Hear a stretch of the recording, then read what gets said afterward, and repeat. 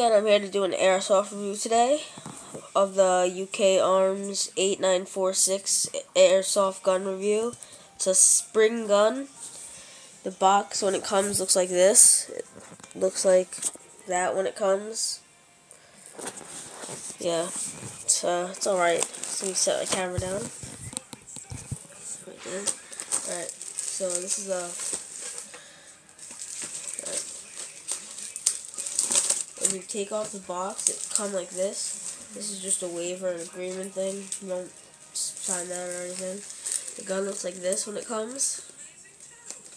These are a small pack of BBs. Do not use them. It will fuck up your gun. And that's just just the gun you're going to be using like outdoors. You leave it outdoors. It's just a crappy gun that you got for like a couple dollars and use it. Go ahead. But I would suggest using a good brand BBs. American flag colors, red, white, and blue. Yeah.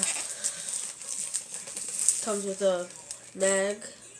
This is a gun, which they messed up my order. They gave us two of them. I only opened one. I'll show you that one now. Put this one back in. This is what it looks like. Like that. Mag comes out like that. Shoots like this. Turn on safety uh, shoot this, I guess. You see it went clear through the little hole right here. Just put that back there.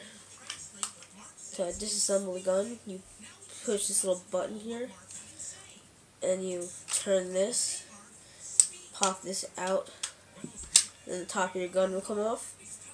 Put it back together and just do the line it up, snap it on, you can't really see me do right now. Got it. Then take this piece, little black piece, do not lose the other piece that ejects it. Put this back in.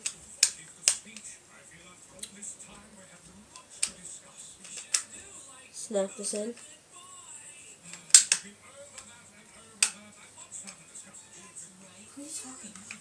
No.